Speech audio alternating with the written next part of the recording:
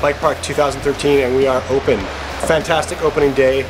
Almost no snow on the ground. 36 trails.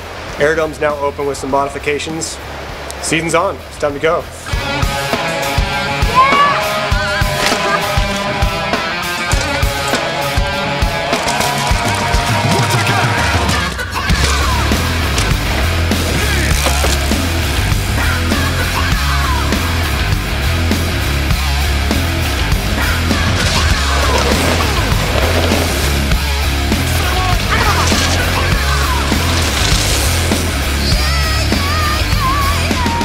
When we opened this year, we moved snow for about three days with snowcats. Then we moved in with small excavators, uh, dug a bit of snow off the trails, but not nearly as much as the last two years. Then it was in there with hand crews and machines, just making it buffed, making it good and soft, fixing up the berms and fixing up the lips. This spring, we've actually had the best spring ever. Uh, the sun's helped out a lot and uh, melted quite a bit of the snow. So we have uh, pretty much all the trails are ready to go. Trails are, are pretty awesome right now. The dirt's good. It's just been sunny and warm, so the snow's melted and it's every, everything's kind of dried up. So dirt's wicked. It's good trails, fresh dirt. It's fun.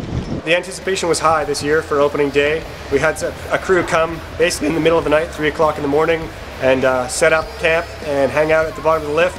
So they were there first thing this morning. They loaded the chair, they got the first laps.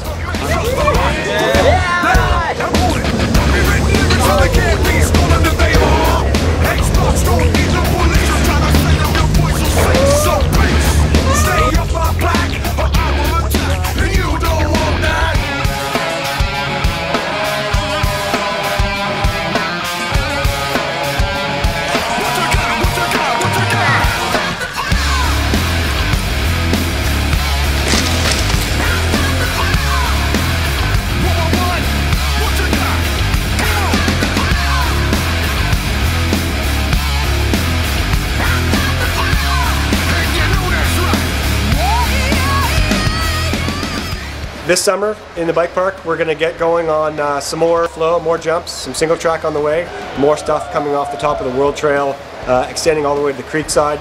Always something new at the Whistler Bike Park.